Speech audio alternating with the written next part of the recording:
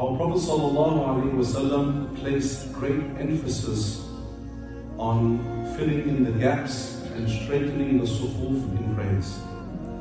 And there is an authentic hadith which comes in Ibn Majah narrated by Aisha radiallahu anha, where the Prophet of Allah said, Verily Allah, inna Allah wa malaika, verily Allah and the malaika, they send blessings and salutations upon those who straighten their sufuf.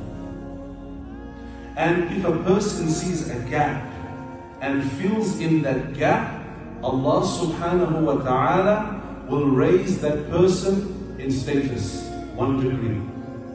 In another hadith, our Prophet sallallahu alayhi wasallam actually linked the mercy of Allah to filling in the gaps.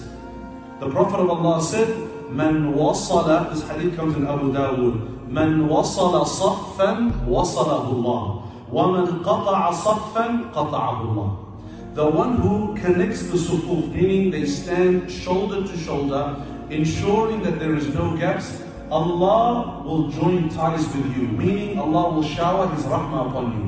When Allah uses the phrase connection towards you, it means Allah subhanahu wa ta'ala will shower His rahmah upon you. وَمَنْ قَطَعَ صَفًّا قَطَعَهُ اللَّهُ The one who breaks the sufuf, this person will be deprived from the mercy of Allah.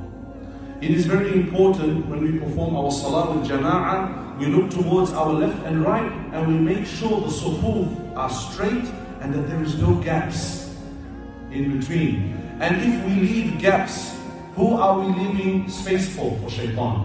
When you leave a gap between each other, then you are allowing shaitan to come between your hearts. And that is why our Prophet said, sallallahu alayhi wa sallam, لَتُصَوُّنَّ صُفُوفَكُمْ أو يخالفن الله بين وجوهكم Allah will disunite your hearts.